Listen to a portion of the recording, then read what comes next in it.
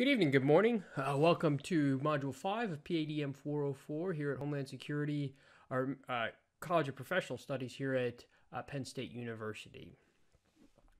Uh, I want to start off with just some uh, announcements. Uh, job talk. A lot of you have expressed interest in it, and we're going to do it.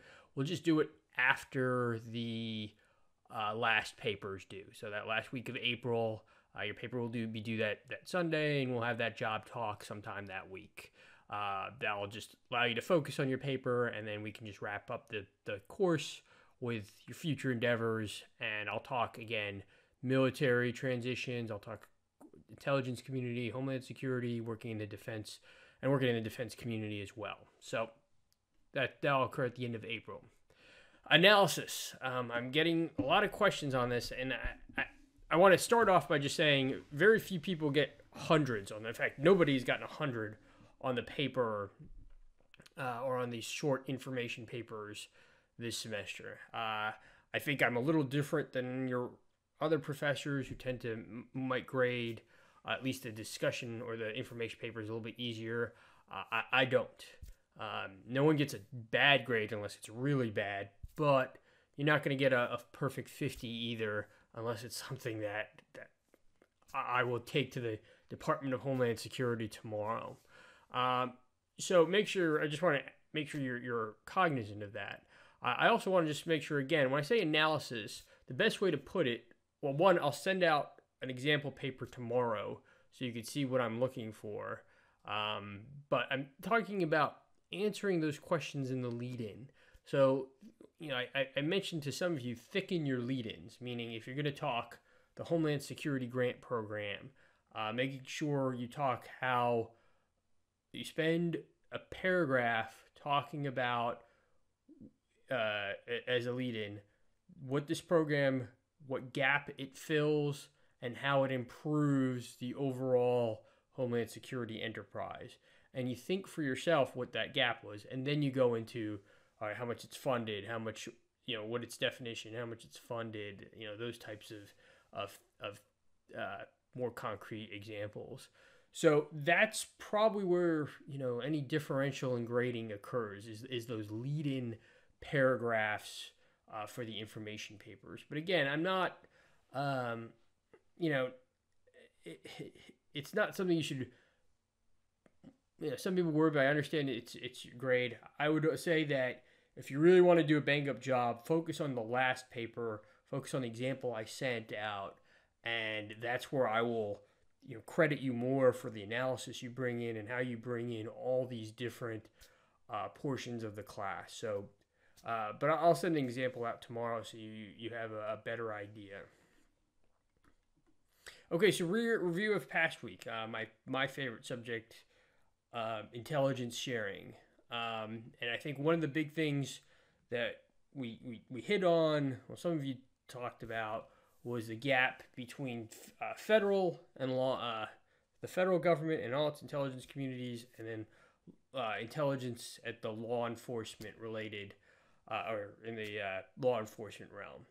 In a perfect world, in my national security utopia, you would be able to if a guy comes in and he's got a suspicious travel record and that's documented by TSA or Customs and Border Protection, that information that that person has a suspicious travel record, they've traveled back and forth to Yemen or they've spent six months overseas in Sudan or in Somalia or the countries surrounding that.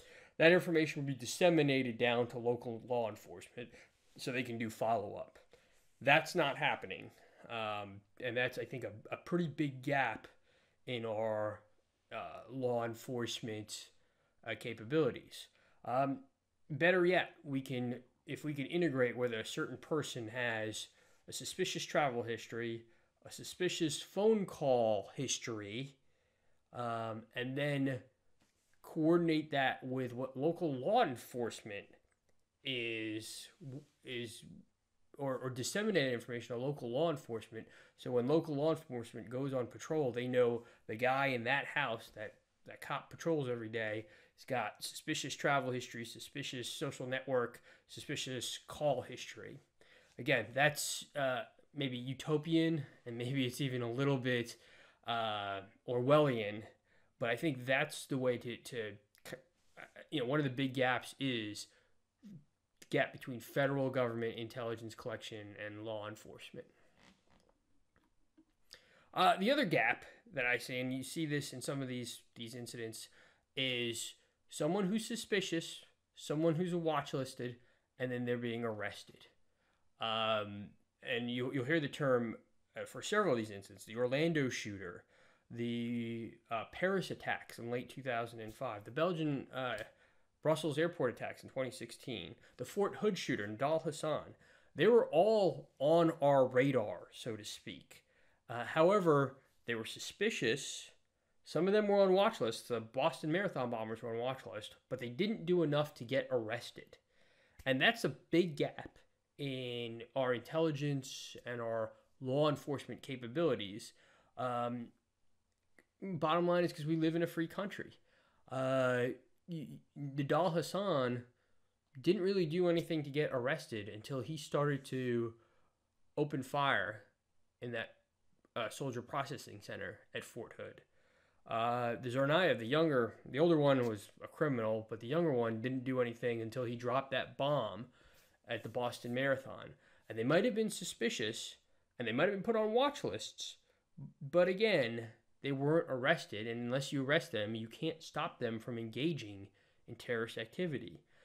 Uh, so that's, again, a, a, gap that has continued to haunt us uh, to, to this day. The Orlando shooter is probably the most, uh, the most recent incident. And then the fusion centers, I'm going to send a video out uh, with this uh, with this announcement uh, about the fusion centers, and they're supposed to do things like close these gaps that I talked about earlier.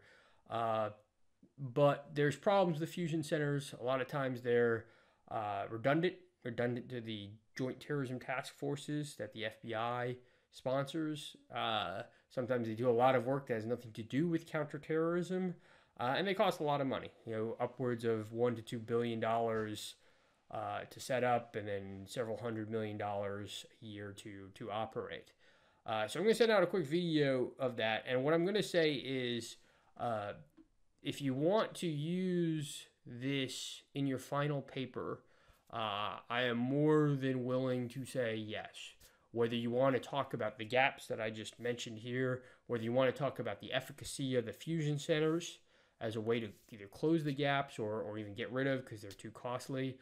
I will let you you discuss that uh, or intelligence sharing in, in detail uh, in this uh, in, in your final paper. So I want to make sure that you you have that understanding.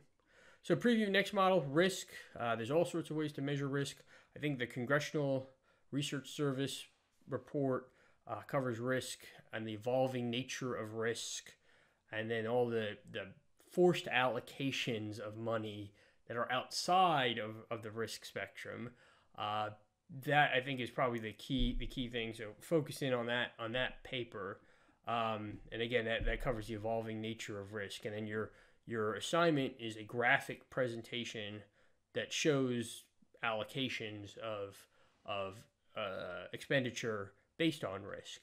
And all it is, you're going to show me a graph uh, an information product that best captures how you want to uh, display allocation of resources. So, with that being said, uh, let me know if there's any questions, and I look forward to. Uh, we've got a little bit of time. You know, we've got spring break and we got a break, so make sure that uh, I've opened up some of the uh, inboxes or drop boxes. make sure we catch up this past next couple of weeks uh, with with any assignments. And again, you got a few weeks to do this because of spring break and, and break. So look forward to discussion points, and I'll see you. Uh, if there's any questions, please let me know.